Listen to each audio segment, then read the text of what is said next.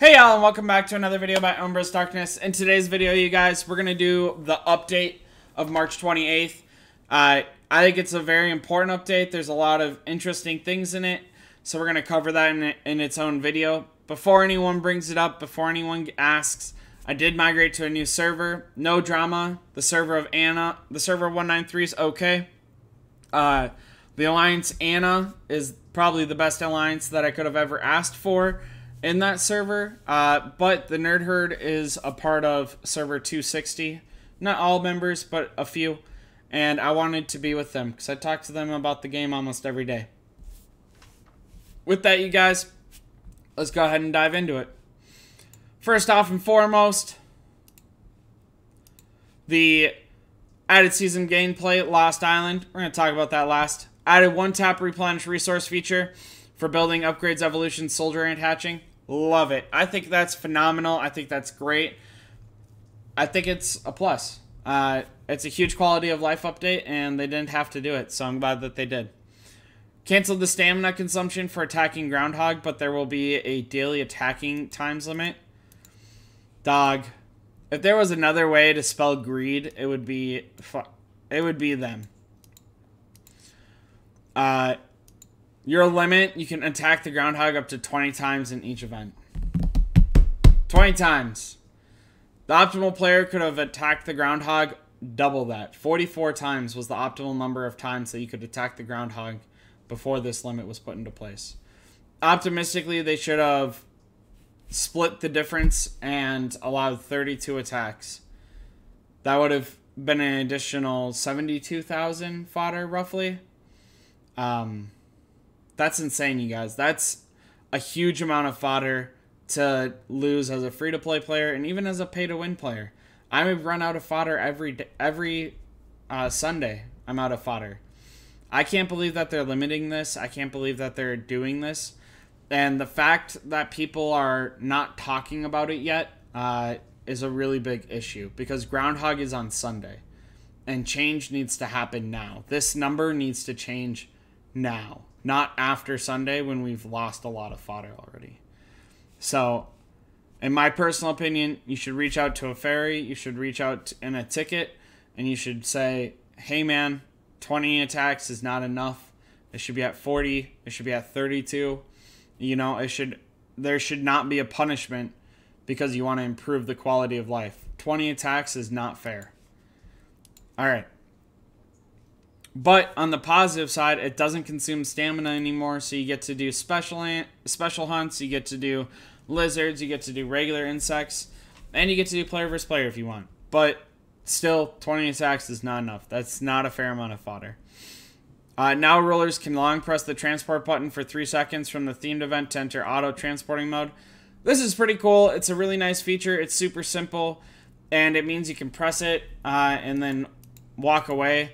So all you go is you go into the Force of Tide events, you go to here, and you just one, two, three, there you go. And it goes super fast and it just sends them all away.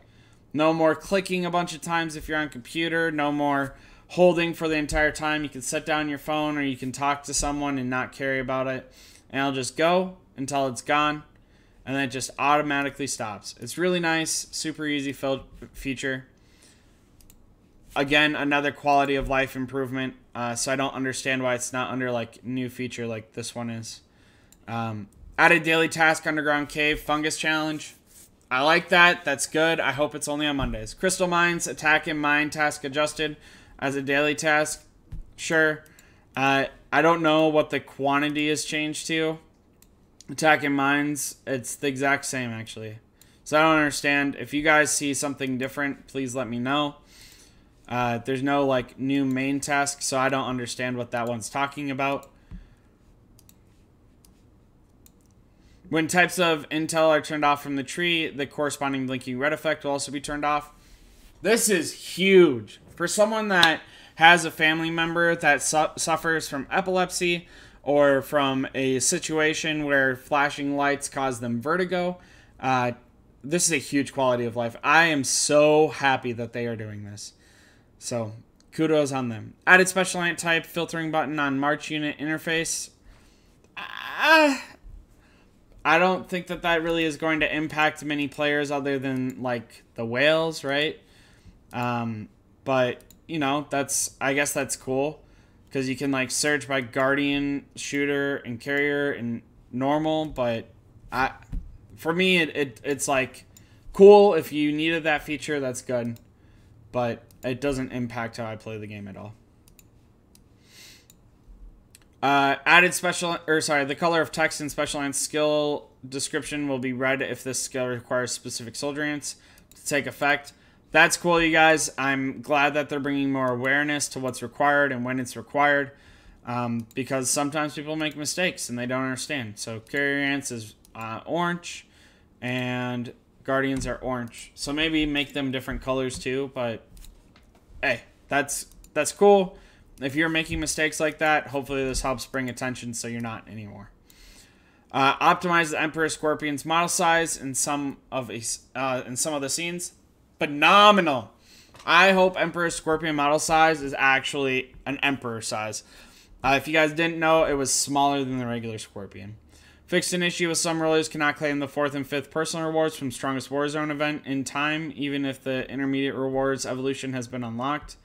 The unclaimed rewards will be sent to the. Uh, so, cool. Fixed a bug that was impacting some people. I didn't experience it. Glad that it's fixed. Fixed the issues with display abnormal in store. Cool. Glad that they fixed it. Didn't experience it myself, but glad they were able to. Fix some in game text description issues. Cool. Happy that it worked out. Happy that people were able to. Uh, do that. If the in-game text description issues uh, turns out to be like key wording changes on Special Ants, I'm sure people will bring it up and tell me. I would love to know that. All right, you guys. Let's talk about the doozy of the one. Number one.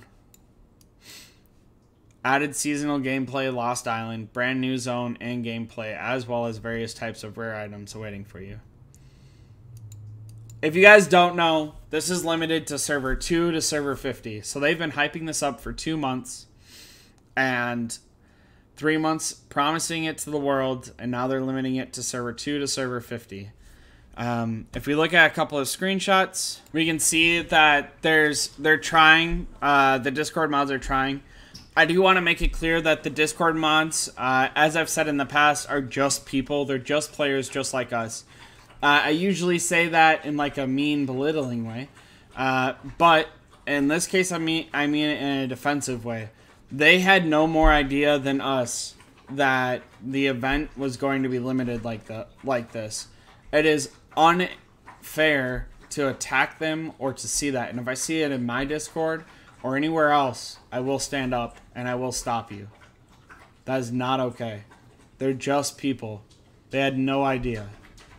So, again, it's hard to explain farther. I got told server 2 to ser server 50 for the start, more during April. Servers that are newly added to the event will be informed via mail. I have no further details, so I'm, I'm unable to explain further. An example server 2 through 50, first week of April, 51 through 100, second week, 101 through 150, third week of April. You guys, this is huge. Uh, this is super unfortunate. It's huge because it means that migrating away like I just did potentially extended the time that I have before I get to see it by two weeks, and it's already going to be four weeks before I see it. Um, if I was in 193, it also means that if you're migrating in server, uh, the server two to 150 range, you should think twice because maybe you're not going to get the rewards. But we don't know what the rewards are. We don't know how often. So, in my opinion, I would migrate for the longevity of your account and the longevity of playing. I would not migrate for momentary enjoyment.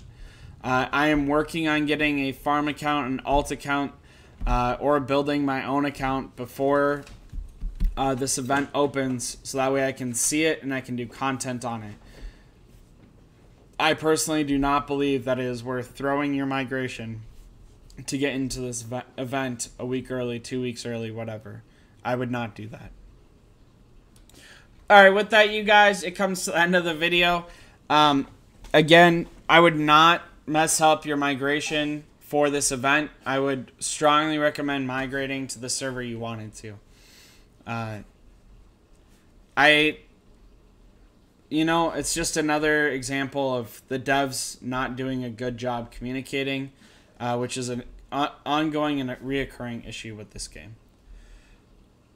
You guys, thank you to the Patreon for supporting me. Thank you so much for subscribing, sharing my videos, and liking my videos. Uh, I try to keep it as real and honest as possible, and I try to share my opinions as much and as frequently as possible. Uh, please, it means the world to me if you subscribe. It does truly impact uh, everything about making content. So please consider subscribing and liking this video.